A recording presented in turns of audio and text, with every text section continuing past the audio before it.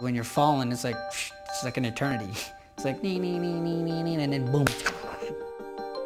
Jockeys have nothing to protect them. When they go down, they're going 45 miles per hour and hitting the ground. You know, it's part of horse racing. People get hurt.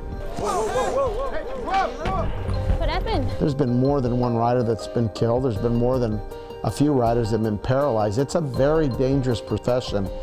Every day they go to work, every time they actually do their job, there's an ambulance chasing them at 35 miles an hour. I mean, broken collarbones happens to 100% of us. Both thumbs. Shattered my nose. Had a fracture at the base of my skull. Shattered T12 and L3. I got to plate my eye socket. Collarbones. I stepped on my head one time. Compression fracture. Broke my back. L1 and T12. T5. Broken arms, broken legs. I mean, it's just, it's natural. Fuck, keep them straight. Like bumper car, man. Your life is in the line. I, I like speed and I like danger.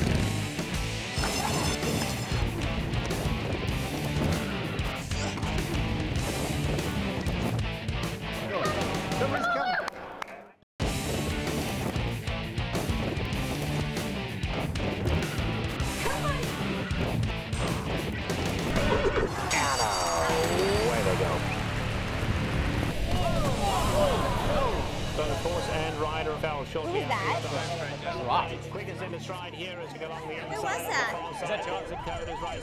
There is no ands or ifs about it. You're gonna get hurt. It's just how bad. Back in the fourth position, been followed by Get Funky. In behind that is 10 Maropa, who's eight lengths off the.